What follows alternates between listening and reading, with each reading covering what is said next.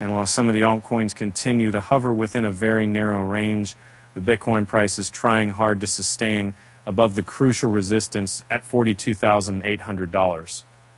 In the meantime, some of the altcoins in the top 15 are displaying the possibility of a breach beyond the pivotal resistance.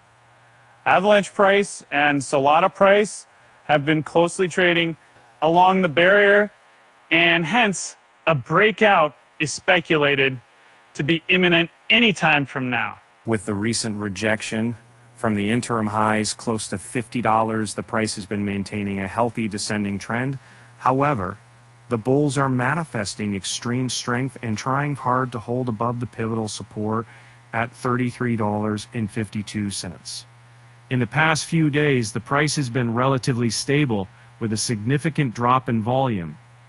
This indicates that price is experiencing equal pressure from both ends and may end up in a breakout very soon.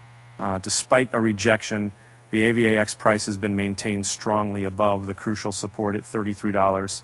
However, uh, the RSI has been displaying a fine bullish divergence, which suggests a decent uptrend could be fast approaching.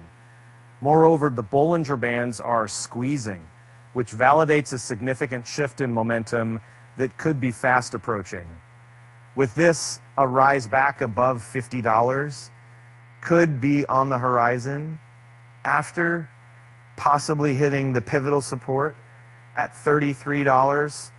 Uh, the Solana price has displayed a significant rise in the past few weeks, uh, but closed the yearly trade uh, within a consolidated range, but above the gains. Uh, the token remaining uh, around the pivotal resistance indicates the rise in bullish strength, uh, which may further trigger a healthy upswing towards the upper targets above $130. Uh, and as seen in the above chart, the SOL price is defending the support levels finally, which may further offer the required base to maintain a healthy upswing. Besides, the SOL MACD displays a drop in selling pressure, which may pave the way for a healthy upswing in the coming days. The SOL price is printing decent bullish candles from the past few days, and with bullish and then CB crossover, a fresh upswing could be validated.